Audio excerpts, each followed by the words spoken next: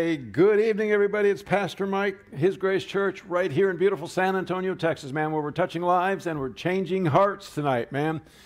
Amplify. Amplify is we're turning up the heat every Thursday night with practical teaching for everyday living. And tonight's not going to be any different, man. His Grace Church, a destination for divine visitation.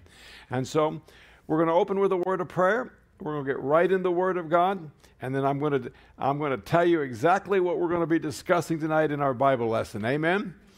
So, dear Heavenly Father, we just come before you tonight with open hearts and minds, eager to dive into your word. And I tell you, your word is so good. So, we thank you for the opportunity to gather together tonight in fellowship and also as well in study. Lord, we ask you for your presence to be among us as we explore the word of God tonight. Grant us wisdom and understanding so that we may fully grasp the truths that you have laid out for us. Father, help us to apply as well what we learn to our daily lives, growing closer to you and becoming better reflections of your love. And Father, I pray tonight that this may this lesson be guided by your Holy Spirit. May our hearts be united in, in a desire to know you more deeply. And I pray that this time of study will not only strengthen our faith, deepen our relationship with you, and inspire us to live out, our, out uh, uh, your teachings in all that we do. And I boldly declare tonight that my uh, teaching and will not be just with enticing words and man's wisdom and knowledge, but in demonstration and power of the Holy Ghost. And we ask all this tonight in the precious name of Jesus. Amen. And so tonight we're going to be talking about living blessed. Amen and how we are to align our heart with God's purpose uh, when it comes to success and generosity.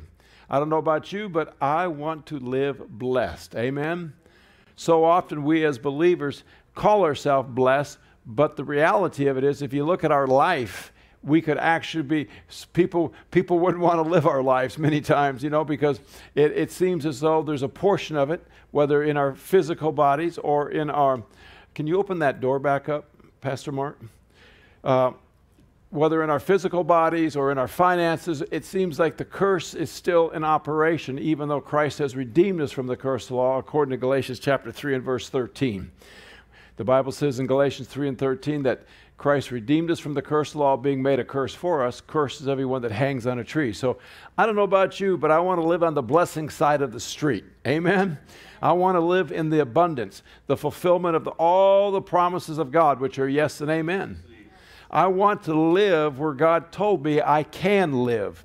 And so, uh, if you're not sure how to get there, I tell you, join us on Sunday morning because we're talking about in our in our series on Sunday morning, speaking faith speaking words of faith, and that'll help you and encourage you then to rearrange maybe some of the things you're doing to get in line with the promises of God that, that will allow you to live blessed. And then also, I encourage you that all this is our 27th week in this particular subject, and so all of our studies are, are out on our website at www.hgc.church.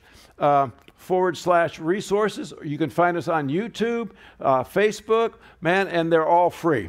We, we don't charge you for anything, any materials. I mean, we put them out there so that you can develop and grow. So then it's up to you to take advantage of them.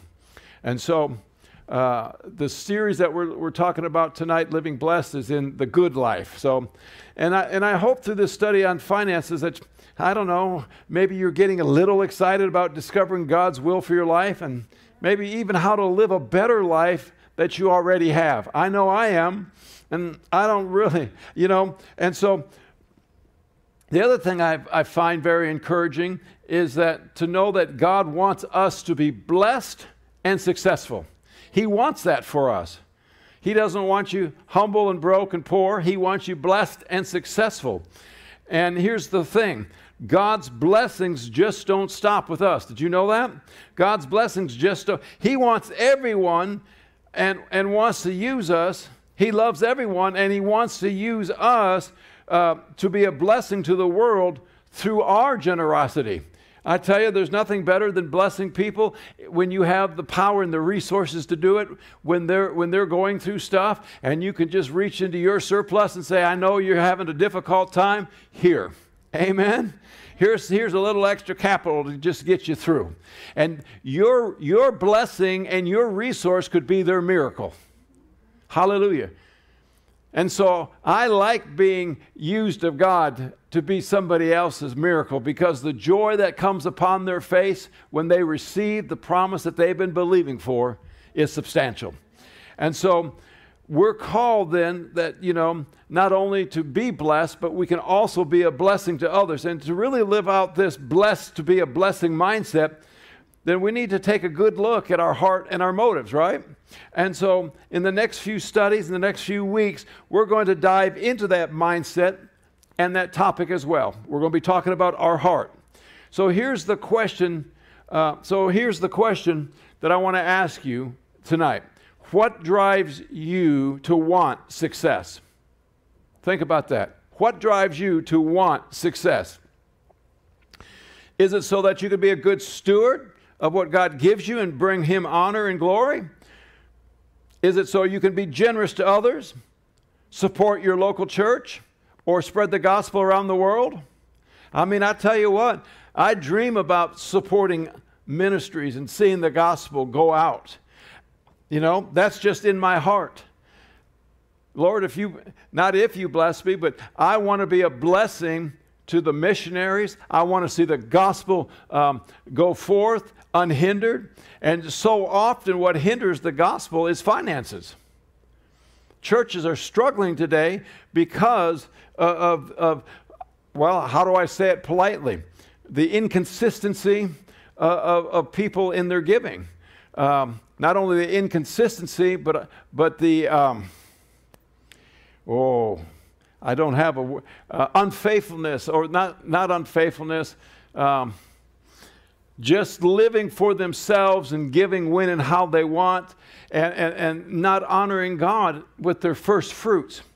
And so, um, when, so my desire in my heart is then to be able to bless people, to be able to sow into life giving ministries that are going around the world and reaching the Gospels, to help other pastors maybe that are, are just getting off the ground like we once did. You know, when, when we started the church, there, there was just Pastor Kim and I and one or two other people. Amen. And so the finances were, were not all that great in the beginning. And we were trusting God, we were believing God, and other churches came alongside. Now, they didn't give financially, but I mean, they gave us old used equipment. And you know what? At that time, I didn't care. Hallelujah. It was equipment and it, and it, it did what it was supposed to do. It allowed us then to, to go forth and to preach the gospel in an amplification. Um, we believe God for chairs. Uh, you know, I, I, remember Pastor Mark, he, he loaned us some chairs for a while, and those chairs were great. And then one day he said, I need them back. And so, hallelujah. So we believe God for chairs, and so people came alongside and helped us and assisted us. And so that's in my heart as well. And so the question is, what's in your heart? Uh, um, or is it more for you about impressing your family and friends about how good you have it? Maybe it's about living a comfortable, luxurious lifestyle. That's why you want to be successful. There's nothing wrong with living comfortable. Amen. Some people are skeptical, skeptical, skeptic about the idea of Christians pursuing success, especially when they see others doing it for selfish or greedy reasons. Many people, they only pursue their success for me, myself, and I. Many Christians pursue their success me, myself, and I, and what's left over, maybe we'll, we'll give something to God. And you have to understand it's, it's God that gives you the power to get wealth. And that word, that word basically, when if you look at it in, in, in, the, in the Hebrew, it means it's, it's God that gives you the ability to be successful. It's God that gives you the ability to be successful. So we honor God then by by giving of our resources and providing for his kingdom because he's the ultimately the one that has brought you the success. Yeah, you went to school. Hallelujah. You got your education, but I'm telling you that the favor of God which rests upon you has opened doors And because maybe in the beginning of your career you were faithful to sow into the kingdom of God, God then blessed your hand. And so, as you began to gather and receive and gain, and then work somehow got to be a priority, and God got to be secondary, and pretty soon you're not taking care of anything that has to do with God's business. And you know, that's where we have to check our heart no matter how successful you are, you have to remember that it's God is given you that ability to be successful. And so we are to bring our first fruits, the first of everything we have, into the storehouse. Where's the storehouse? That's your local church. We bring that into the storehouse, and then the Bible says, then our barns will be filled with plenty. Hallelujah. But if your heart's not right, and then you know you, have heard it before. If your heart's not right god can't bless you. That's saying god won't bless you. God's still going to bless you but you decide you determine the amount uh, of reciprocal um, re- reciprocal um, that you get back from god.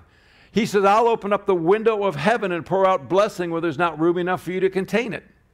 Well i want that window open don't you? In malachi chapter how do i do that? I bring the tithe into the storehouse and so, if we'll honor God with our first fruits, then He said He'll open the window of heaven. So, again, we come back, it becomes a heart decision. It's, it's a matter of the heart. Are you, are, are, are, is your heart towards God or away from God? If it's towards God, then you'll honor God in all you do. If it's not, you'll be building your own kingdom. If you honor God, you're building His kingdom. If you honor you, you're building your kingdom. And so that's why, that's why uh, people notice that, that some believers get really excited about wealth, but they don't show maybe the same enthusiasm for serving God, giving to others, or, or even living a holy life. And if you really think about it, they've got a point, don't they? It's a contradiction that can confuse others and even lead some people away from their faith. And that's why God is so concerned about the condition of our heart. Before, and, and so, before we go any further within this study of success, let's take a moment and reflect on where our hearts really are. All right? And so, what are our true motives for wanting God's blessing, and what is His, what is his purpose in providing them to us? Would be a great question. And you know, I'll tell, I'll tell you mine, as they say, if you tell me yours. And so I have a twofold goal, if you will. Number one, I'm not going to deny it. I want to live a good and comfortable life. I want to live a comfortable life, don't you? I don't want to live uh, in the withouts, almost, barely getting by. I don't want to live down on poverty alley. Do you? I mean, I, have been, I've been poor. I'll tell you what, I don't want to be poor no more. I want to live in a comfortable lifestyle. And so my comfortability may be different than your comfortability. My comfortability includes having all my bills paid and then a little in savings and then left over to do some things I want to do. Hallelujah. Uh, that's my comfortability. And so The other thing is that I, w- I want to enjoy the aspects of the fruit of my labor. I work hard. In, in 1 Timothy, is this making sense to you tonight? 1 Timothy, it's awful quiet. I need Cora. Cora, you need to come back. It's awful quiet here.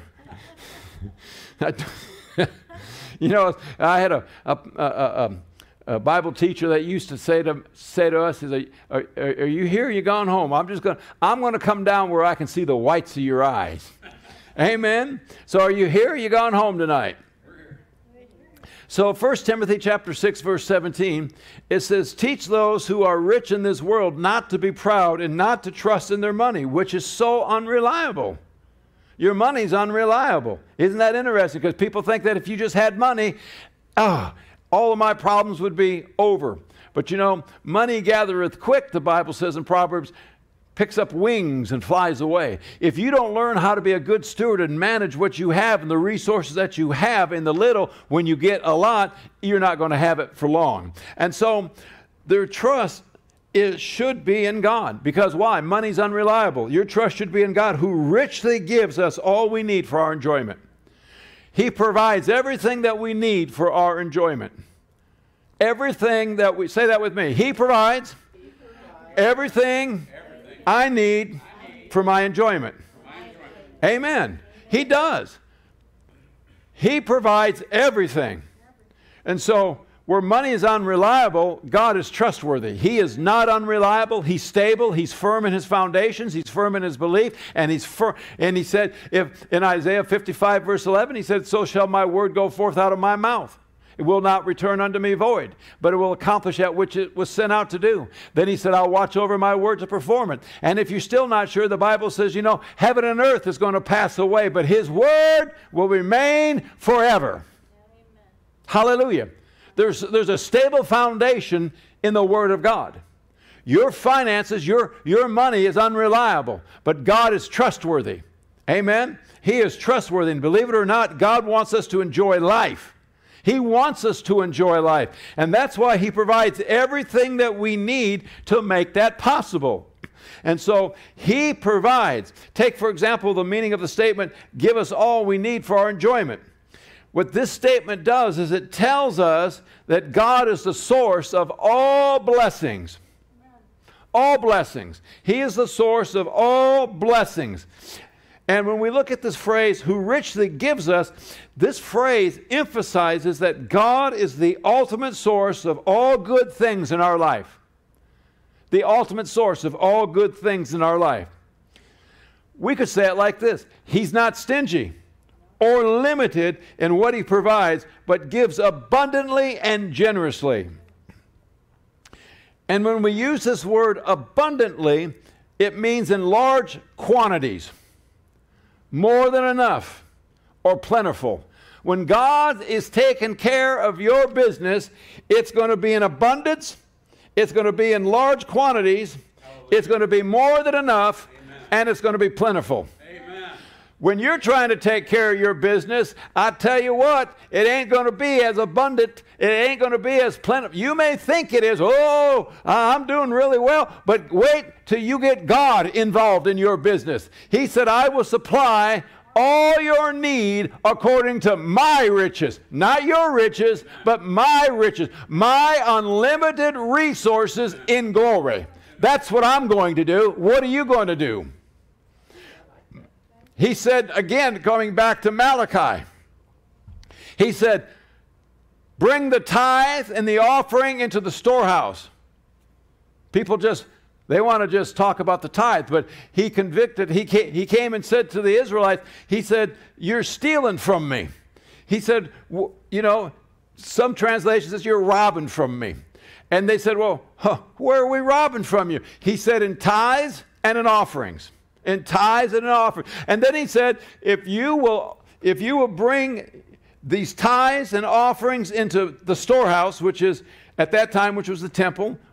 So the provision is you're to bring your your tithe and offering into the into where you are locally being fed. If you're part of His Grace Church, then His Grace Church is where you send it or bring it. I don't like the word send. I think you should bring it.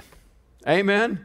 Bring it on. And so then he says, If you'll do this, test me, prove me. Prove me in this point if I will not open the window of heaven and pour out blessing where there's not room enough for you to receive it. I'll rebuke the devourer for your sake. And so when we look at when we look at this, God says, and anytime we talk, we see the, the, the, the usage of window or windows of heaven in the old covenant, we always saw miraculous, plentiful, abundant supply. Hallelujah.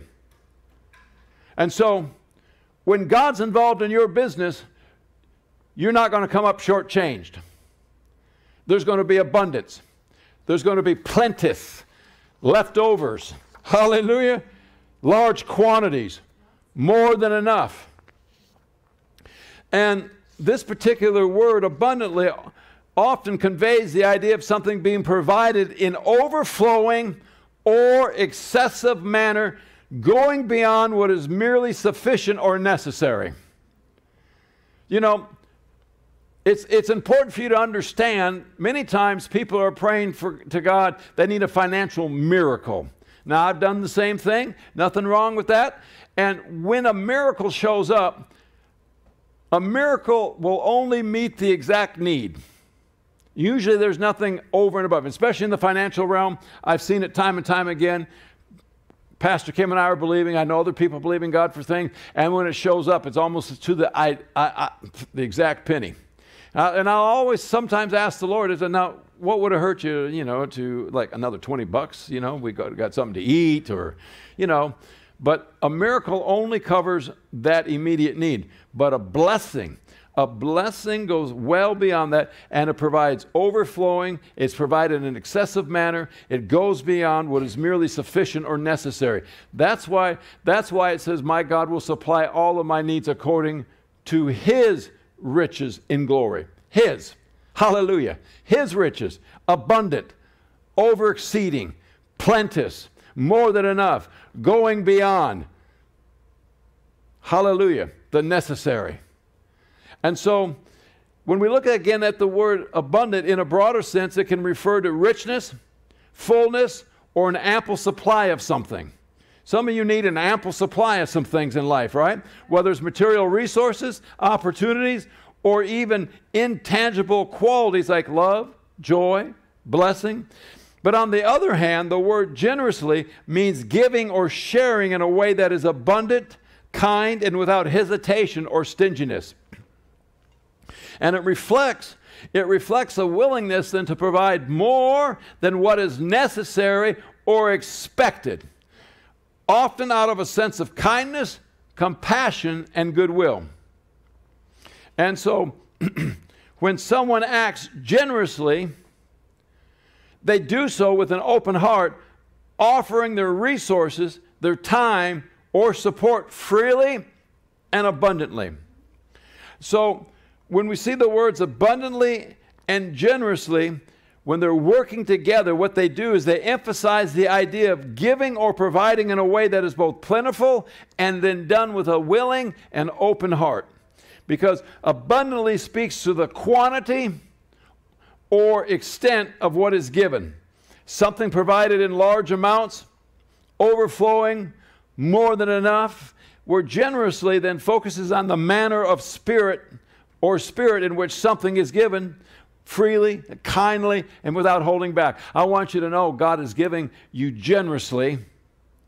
He meets all your needs generously freely, kindly, and he doesn't hold back. And when these words are used together, then what they do is they describe an action or provision that is both vast in amount, or we could use the word abundant, and done with a kind and selfless attitude, generous. Amen. For example, if someone gives abundantly and generously, they are not only providing a lot, but doing so with the desire to truly help or bless others without expecting anything in return. And what this combination does is it highlights both the quantity and the quality of giving or provision. I don't know about you, but that kind of sounds like God, right? That sounds like God. But without hesitation, this is what we are to be as well. Not just God. This is what we are to be as well. And if you're unsure, let me answer that with a yes, and then also provide you scriptural support for that statement. That's how we're supposed to be generous and abundant. Say this with me I'm generous and I'm abundant. And when I give, I give out of abundance, freely to meet needs. Because I have more than enough. Amen. Doesn't God have more than enough, or do you think He's a little stingy? Going to come up short this week, Jesus. What are we going to do? No, God has more than enough. More than enough resources, more than enough to meet your little need. But you, my, my need's not so little. To Him it is. He owns, he owns the, the cattle on a thousand hills. Don't you know that He can pay your little $200 bill? Or supply resources to help you with that. Amen? So, in Ephesians chapter 5, verses 1 and 2, it says, Imitate God therefore in everything you do, because you are his dear children. live a life filled with love, following the example of Christ. He loved us and offered himself as a sacrifice for us, pleasing as a pleasing aroma to God. Well, I'll tell you what, it's hot outdoors, ain't it? It's hot in here. I mean, these poor air conditioners are working tonight. So, what does the word imitate mean? What does the word imitate mean?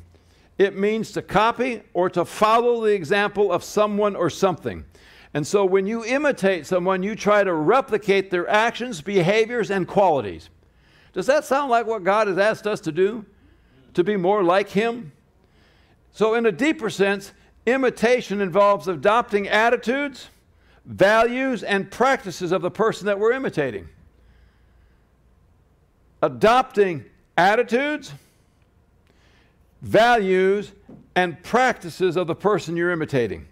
You know, how many times you parents did your children try to imitate you? Sometimes they imitated you very well, and you wish they hadn't done such a good job because there were some negative uh, uh, effects in their imitations, right?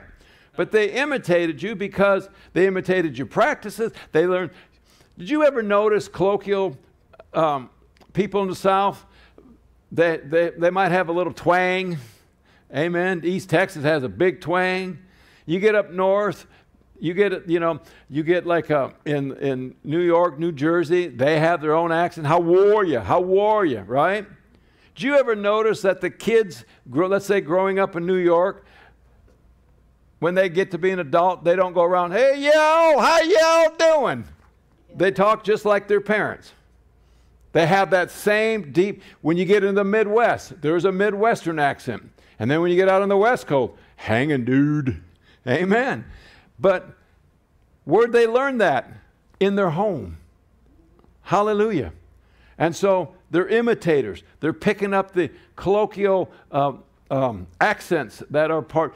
I mean, you don't see anybody from England, hallelujah, growing up in England, all of a sudden they're going, hey, y'all.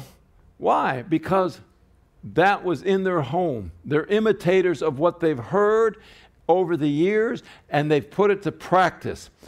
And so their attitudes, values, and practice of the person that you are imitating. So, in the context of faith, especially when the Bible instructs believers to imitate God or maybe to imitate Christ, it means to strive to live in a way that reflects God's characters and actions in your life. And so, what would this include? This would include living with love because God is love. Amen. God is love. He's not going to be love, He is love. And so, because He is love, it means that we have to demonstrate selflessness, sacrificial love towards others, just as Jesus did. It would include, I believe, practicing what we call holiness. That's a word we don't hear much anymore. And it means to, to strive to live a pure and righteous life reflecting God's holiness. You know, Jesus said, Be ye holy as I am holy. That word holy is separate. You are to live a separated life. In other words, you're not to live like the world lives because you're no longer of that kingdom, you're of the kingdom of God. You should learn how to adapt into the culture of heaven and then learn to live in that culture.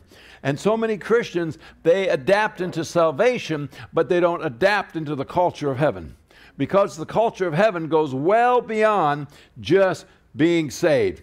It is, it is taking on the attitudes and the val- values and the practices of our Heavenly Father. It is imitating what God does, how He lives, how He breathes, how He speaks, how He loves. That's what we are to imitate. And we might not have grown up in his household, but when we accepted Christ, we moved into his household. Amen? And so then we are to accept not only the, the beliefs and the values, but we are to put them into practice. And that's where renewing our mind comes in, where, where, where the Bible talks about to renew your mind. Hallelujah. To, to, because you have to take what was in there and fill it with God's word so you know how to act. It's like going to school. You didn't learn uh, arithmetic in just kindergarten because, um, you know, it's a con- constant process of learning. And so you have first, second, third, fourth, and everything builds upon it. learning to, you know, everybody thinks when you get born again, you ought to be a, a mature Christian, but it don't work that way we grow and we develop. And it takes work, it takes study, it takes reflection, it takes meditation. It takes putting the word to practice in our life, seeing it work over and over and over, and then getting behind people that are living as practical examples so that you can see the love of God, how it's supposed to operate, how it's supposed to manifest. Amen? God is a spirit. We are a spirit. And inside of us is, is the Spirit of God who confirms that, that, that our spirit is alive unto God. But our natural man has a voice. Our natural man wants to do the things that the flesh wants to always always have done. It wants to, to go against the laws and commandments of God. And you're not going to know if it's right or wrong unless you're in the Word, developing and studying and growing, and then the Word of God leads you and guides you and then protects you as well. And so, it's important that we practice holiness, that's, that, we, that we strive to live pure and righteous before God, reflecting God's holiness. Amen. Some of the things, I'll be honest with you, some of the things I've done in my life and some of the things I see people that are still doing in the church, they don't reflect the holiness of God. They don't reflect our Father. They don't reflect His goodness. They don't reflect His mercy. You can say amen. We're all in that category. We've done things that we know are wrong, but thank God for 1 John 1 9. But we as a church have got to rise up. We've got to stand up and we've got to declare that, that, that God, that Jesus, that's not our Lord, but that we live, that He, that well, he's not just our Savior, he's our Lord. Do you know the word Lord means one who reigns and rules over another? Well, I ain't going to have nobody reign and rule over me, especially a man. Well, Jesus, if He's not reigning and ruling over your life, if you haven't given your whole life over to Him, hallelujah, then He's just your Savior. And you're going to have issues in life because you're, you're going to be of a rebellious nature, of a rebellious spirit. And when He asks you to do something or His Word commands you to do something, I'm not going to do that. You're not going to walk in the fullness of the counsel of the Almighty God. You're not honoring him, you're disrespecting him. And yet we've come, the Bible says we're to be imitators of him. We're to live a pure and righteous life, which then reflects God's holiness. We're also to exemplify compassion, meaning that we're to show kindness and mercy and forgiveness. Man, I tell you what, that's an area that I can fall short in. Hallelujah. Don't look at me in that tone of voice. You're the same way. Maybe not you, but so most of us, you know, we have our moments where we're kind and merciful, and then we have our moments where just get out of our way, brother, because God's grace is not going to be evident at the moment. Amen? Hallelujah. I mean, I'm just being real here. Yeah. Living blessed. So, the next thing that we see is that, is that we need to be generous, give freely and abundantly as God provides for us. Imitating God or imitating Christ is about aligning our life with the values and behaviors that models that, that God models in the Bible. What this does is it allows, uh, allows those divine qualities then to become evident in our everyday life. What it, was it Paul said that we are a living epistle seen and read by all? People are watching you. People are watching your speech. People are watching your actions, they're watching your face. Oh, I've got the joy, grumpy pants. Hallelujah. They're watching what happens when you get into trouble or under tribulation and trial and things may not be going well for you at work. They're looking at how you react because all day long you're professing you're a believer and all day long you're professing you're a Christian until pressure's put on you. And then your Christianity takes a dive and the satanic process of your fallen nature arises. Hallelujah. Another good place. I think I'm preaching pretty good tonight, don't you? Cora, come home. and so, again, the, we have to allow those divine qualities to be evident in our everyday life. And so, for me, again, going back to uh, what I stated earlier, tell me yours, I'll tell you mine. Um, my goal is twofold, if you will, for wanting to be successful. Number one, to live a good and comfortable life. Again, coming back to number two, is that I want to help bring people into the kingdom of God. Amen. To use my resources to help supply God's kingdom and His work. These are my heart motives. These aren't just not empty words. Oh, it sounds good. Hallelujah. You know, we're just talking of Christianity or, you know, what they call it, Christian babble. Um, these are actually my heart mo- my heart motives. This is what's my purpose. This is what drives me. This is what I want to see. I want to see people come to Jesus. I want to see lives change and hearts, tra- uh, ch- and hearts transformed into the gospel. I just don't want it to be empty words that, you know, they say a word just to get out of church and you never see them again. I want to see the same transformation in them that was in me. That one day I was, I was an evangelist for Satan and the next day I was in church praising God because I knew that I received something that, that was so great that it was beyond anything I could ever think or imagine. And then because of that, because of that transformation.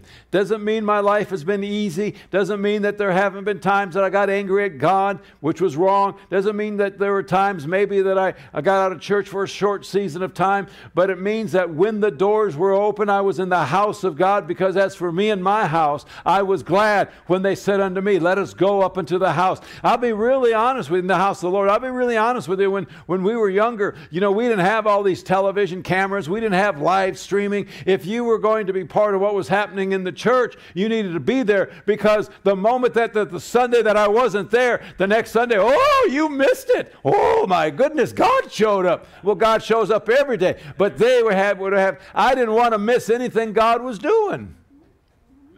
Hallelujah. I would, I would arrange my schedule. I took a job one time when the first thing they told me was, uh, You're going to have to give up Wednesday nights. And for a season, I gave up Wednesday nights. And, and then I finally went back and said, No, I'm not doing that. I'm no longer, I mean, I going to be in church, period. I put what why? Because I'm putting God first. I'm putting his house first. I'm, I'm realizing the education that I need to grow and develop. Hallelujah. And I'm also not being disobedient to the word of God. It says, Do not forsake the gathering together as it is the habit of some. I'm building a good habit. My parents, even though we grew up denominational, I tell you, we were in church every Sunday. I, I, mean, every Sunday. They built in me a good habit and the importance of being in church. And though, even though I'm no longer part of that denomination, it was still ingrained in me the importance of honoring God and reverencing God by being in the house of God, fellowshipping with other believers. We're a family. Amen? Amen. That's all free. And so Again, these are my heart motives to supply resources for the kingdom of God and his work. In Proverbs chapter 3, verses 9 and 10, Proverbs chapter 3, verses 9 and 10 says, Honor the Lord with your wealth and with the best part of everything you produce. Then he will fill your barns with grain, and your vats will be overflow with good wine. Honor the Lord with your wealth and with the best part of everything you do. 2 Corinthians 7 8 and 9 says this You must each decide in your heart how much to give, and don't give reluctantly in response to pressure or in response to pressure. For God loves a person who gives cheerfully. In other words, we can say it like this He loves a cheerful giver. Amen. I mean, there have been times God's asked me to give, I just said, Oh, no. But I had to, I had to rectify my heart. There are times when there's a lot of pressure coming from satanic activity that's deriving um, or taking from your household. And God says, you know what? Uh, I want you to step it up a little bit and I want you to give this amount. And you go, oh no. But I've learned that when God asks, I'm coming to, I'm coming to the throne happy, cheerful. And so when God is coming to ask you to do something, our response shouldn't be, oh no. Our, our response should be, hallelujah. Another opportunity to put seed in the ground because you can see beyond what I can see. I can only see immediately in front of me, but you see my future. And you said that, that I know the plans that I have for you. They're plans of good and, and, and, and, and plans to bless you and to prosper you.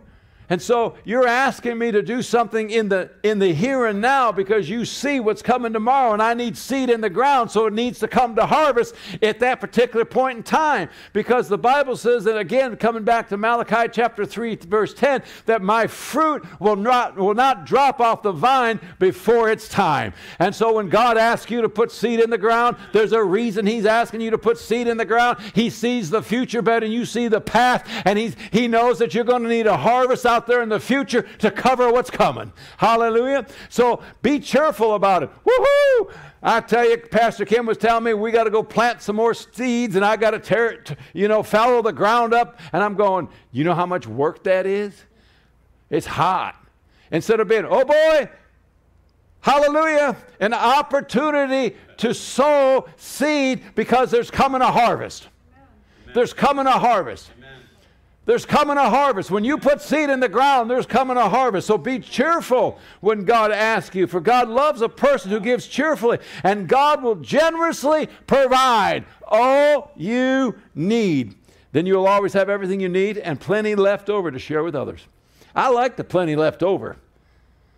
Hallelujah. And I like the sharing with others because that aligns with my purpose, that aligns with my heart. How about you? I mean, and what these verses what these verses do is they encourage us as believers to use our resources generously and yet wisely with the understanding that doing so honors God and supports his work.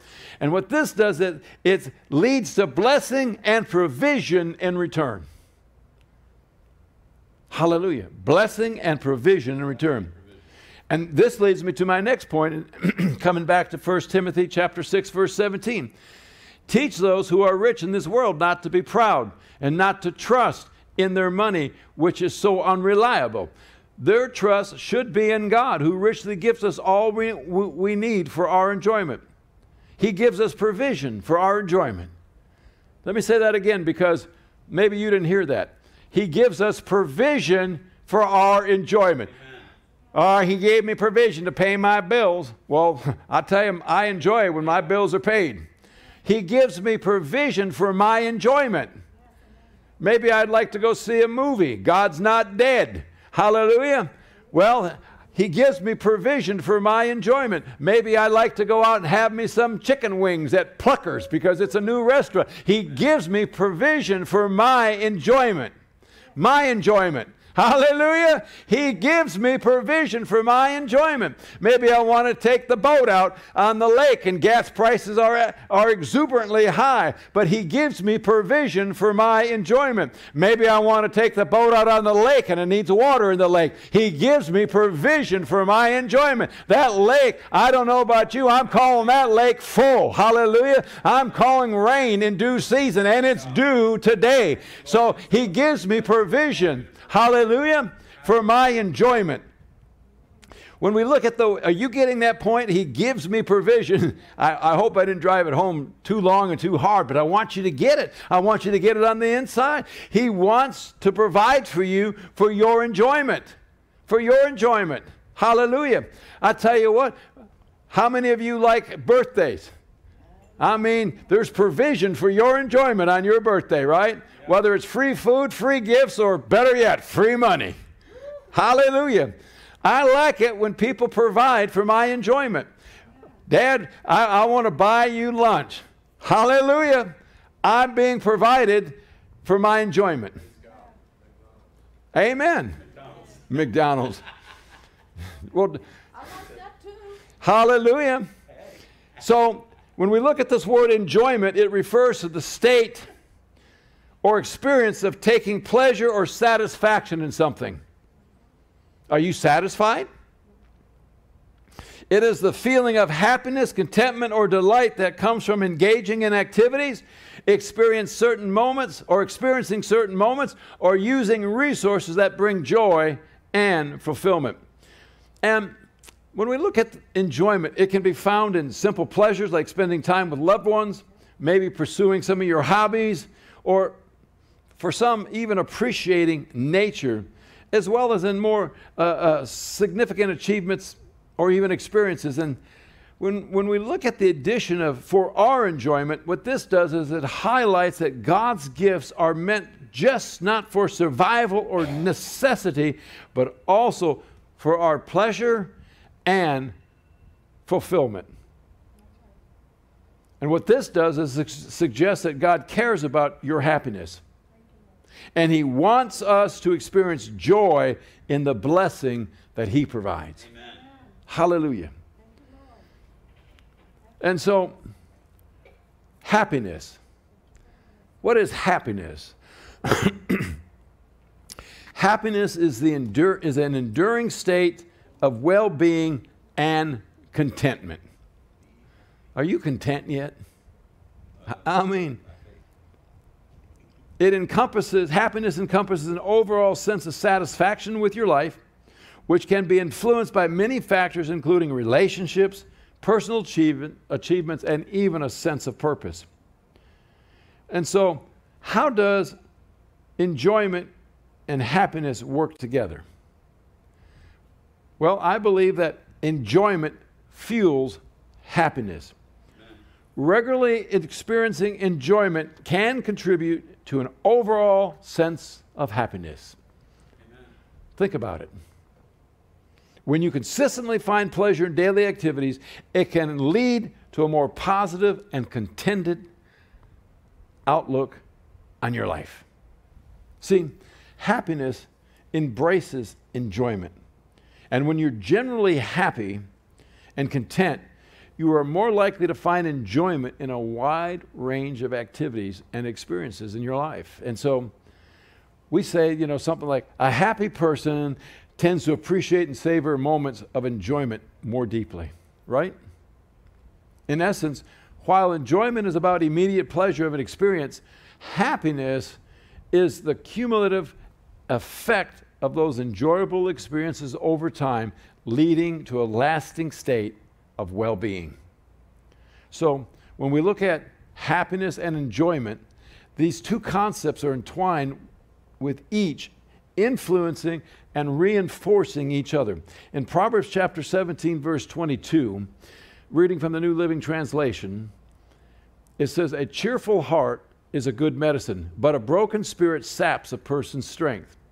And this verse highlights the positive impact of a joyful and cheerful, or what we might say a happy heart or attitude on our overall well being, comparing it to the healing effects of medicine. A happy heart has the same healing effects as medicine.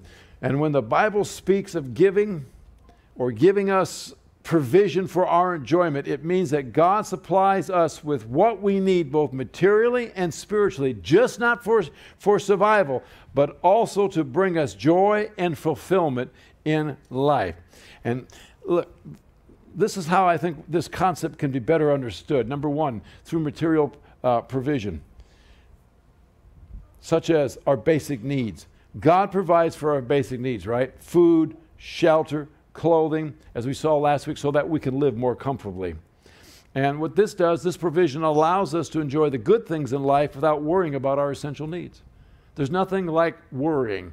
I mean, we're not supposed to worry, but some days, you know, you may find yourself thinking on the things you ought not to be thinking about. And the Bible says, uh, don't be anxious or stressed out about anything, but in everything with prayer and supplication, let your requests be made known unto God, so that the peace of God, which passes all, under, all understanding, would encompass your hearts.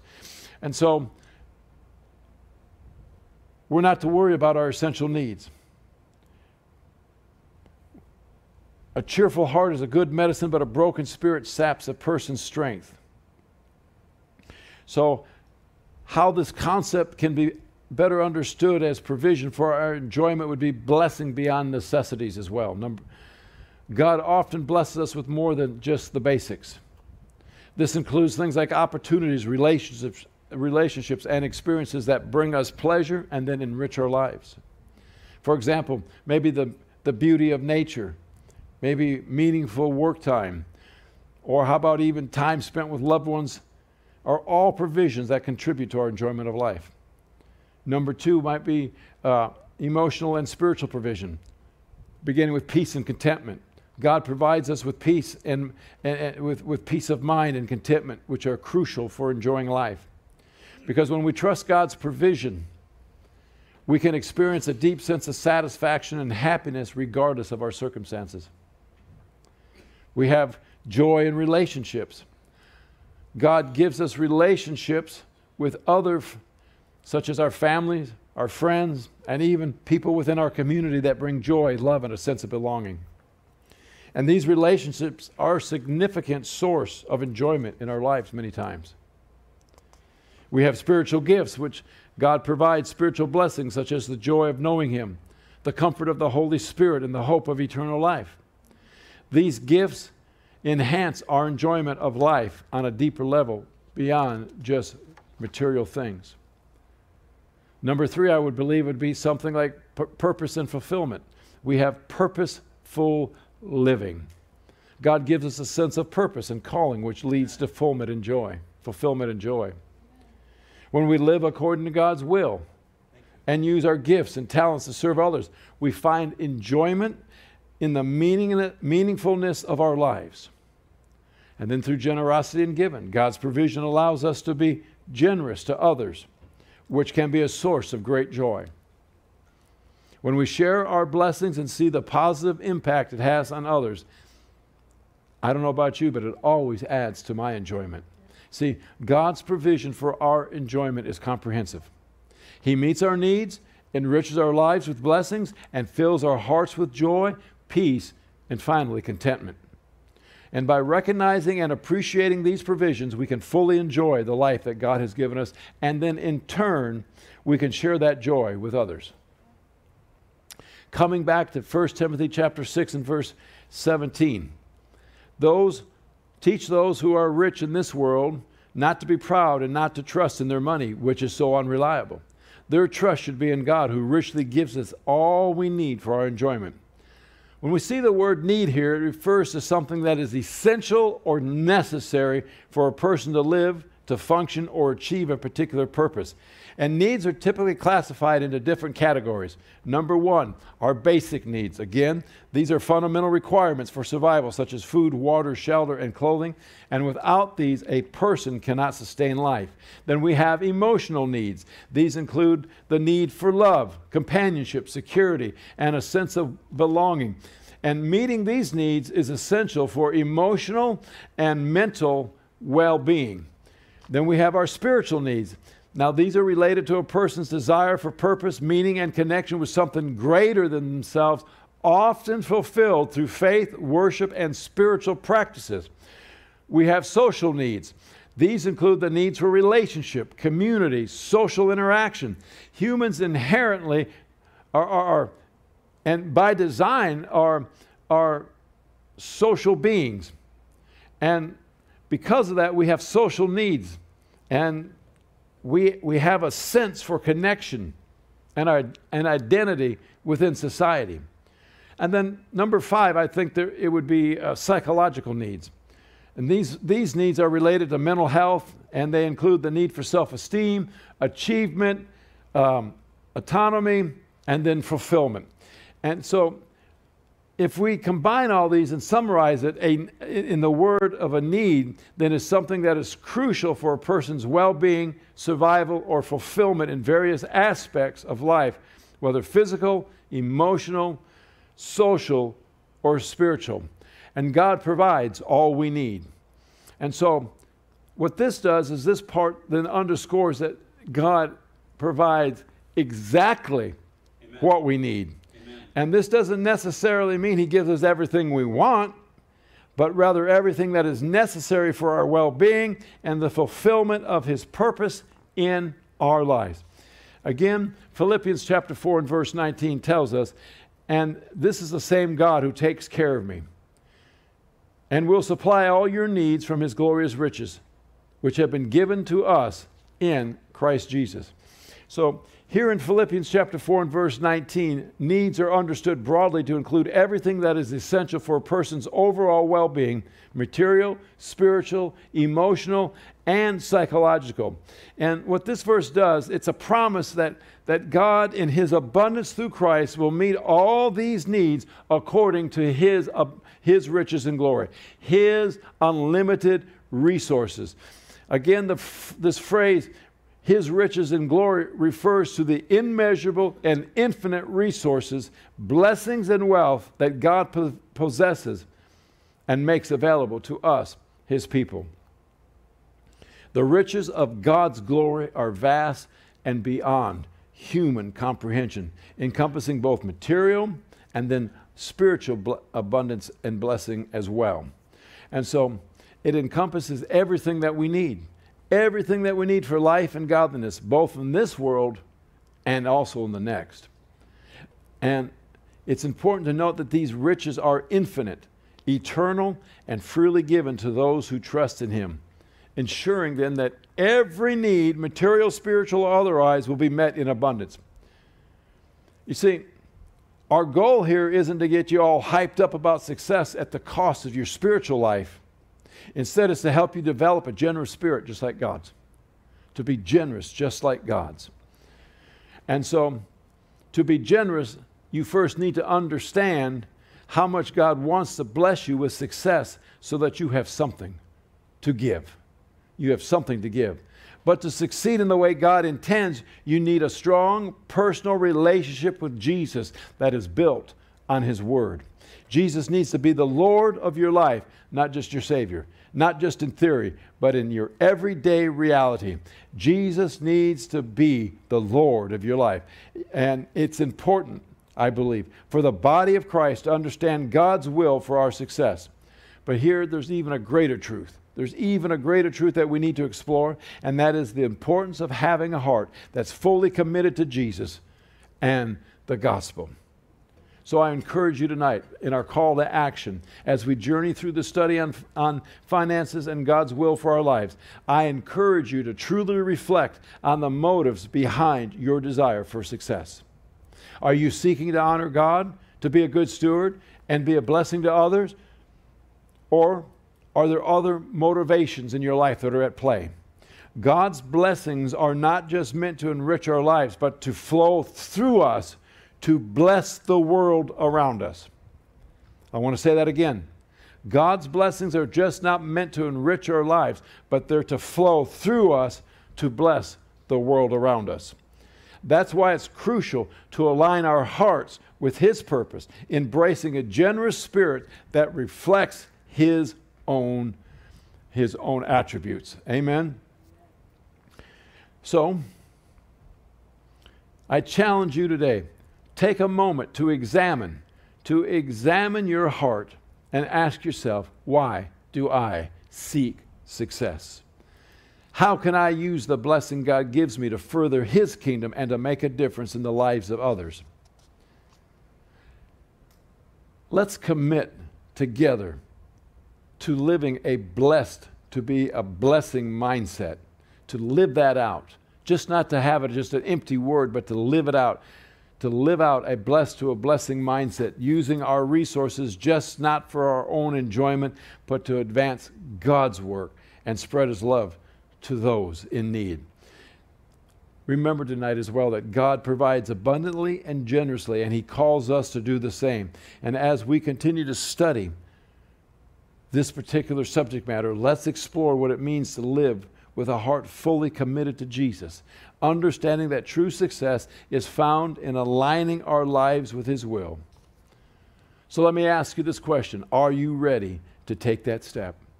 Are you ready to take that step?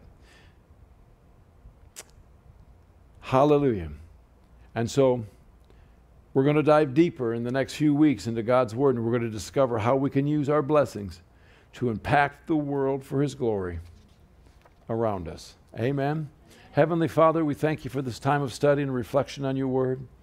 As we seek to understand your will for our lives, especially in the area of finances and success, we ask you for your wisdom and guidance tonight. Help us to align our hearts with your purpose knowing that every blessing we receive comes from your generous hand. Oh, Father, you're so good. Lord, we desire to live lives that honor you, not just in our words, but in our actions. As, as Paul said, that we just not that, that we are a living epistle, seen and read by all.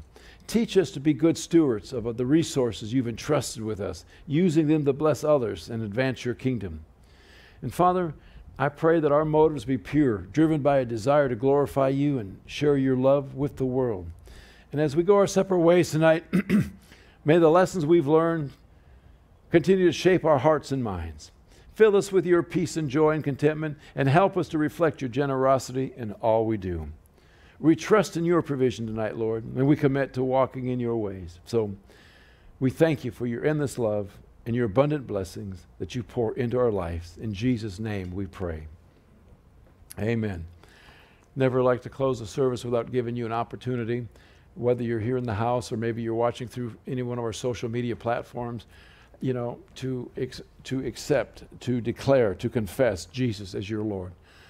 Romans chapter 10, verses 9 and 10 just says this If we'll open declare that Jesus Christ was raised from the dead and believe that in our heart, if we'll confess with our mouth and believe in our heart that Jesus was raised from the dead, we will be saved. That Greek word saved means to be made whole, to be complete, to be transferred from the kingdom of darkness and into the kingdom of your dear Son. If you've never accepted Jesus, your personal Lord and Savior, I invite you to pray this prayer right now with me. Make heaven your home, make God your Father, and Jesus will come in and become Lord of your life. Pray this prayer with me right now. Father, in the name of Jesus, I ask you, forgive me of all my sins. Jesus, I ask you to come into my heart and become Lord of my life. I confess with my mouth and I believe in my heart that you were raised from the dead. From this moment forward, I'm born again. I'm on my way to heaven. And I'm a new creation of Christ. If you prayed that prayer for the very first time, I want to welcome you into the kingdom of God. Something miraculous and wonderful is happening in your life right now, and that's Jesus coming in and introducing himself to you. I encourage you to do two things. Number one, find yourself a good Bible believing church. If you're in the San Antonio area, man, His Grace Church is such a place. We're a young, growing, dynamic group of believers, man, where everybody can know your name. I tell you what, it's a good place to come in, get hooked up, and start your spiritual journey.